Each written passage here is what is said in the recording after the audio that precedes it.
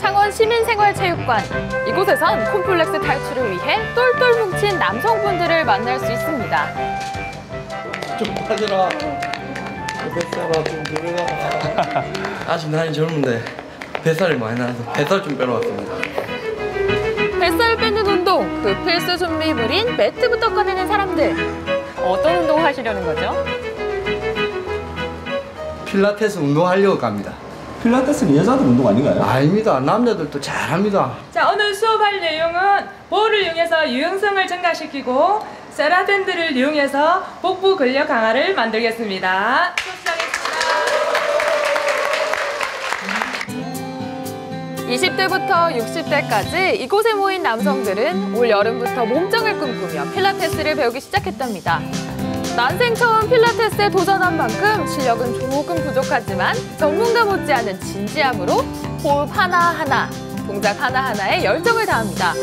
그런데 이때 유난히 동작을 어려워하는 분이 눈에 띕니다. 어, 어, 힘들어 하시네요. 저거 약간 유격 자세 같은데요. 와, 진짜 힘들어 보이네요. 네, 어우, 땀도 많이 흘리시네요. 네. 티즈라는 동작인데요. 필라테스에서 제일 힘든 동작이에요. 난이도가 높은 동작이고 복부 근력을 만들어주는 운동입니다. 어, 다른 쪽도 상황은 마찬가지. 하지만 포기란 없습니다. 다리 펴고 다리 뻗어도 다리 더 올려. 다리 저더더더더더더더더더더더. 야, 아, 복권이 생기다니까 꼭 해야죠. 힘들지 않아요? 아, 죽을 것 같으니까. 힘든 만큼 효과는 두 배. 쉴 틈 없이 이어지는 다음 동작엔 새로운 도구인 근력 밴드가 등장합니다.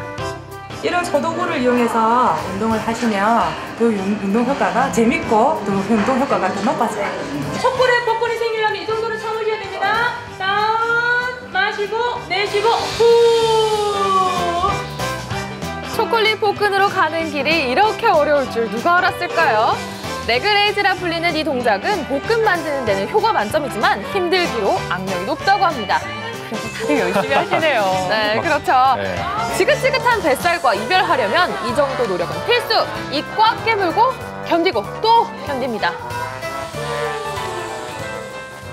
여보, 나 초콜릿 복권 만들어 갈게. 아, 대단하십니다. 자, 드디어 운동의 막바지. 공을 이용해 다양한 동작을 하며 몸 만들기에 박차를 가합니다. 복근 주고. 늦은 밤까지 구슬땀 흘려가며 열심히 수강생들. 올가을엔 정말 몸짱으로 거듭날 수 있겠죠? 꼬리뼈 중심 잡고. 정말 힘든데요. 하고 나면 정말 시원합니다. 개운하고 운동한 데 느낌 납니다. 사무직 일을 하다 보니까 허리가 많이 안 좋았는데 허리 허리 강화도 많이 됐고 그 다음에 표현도 많이 밝아지고 좋은 거 좋은 운동인 것 같습니다.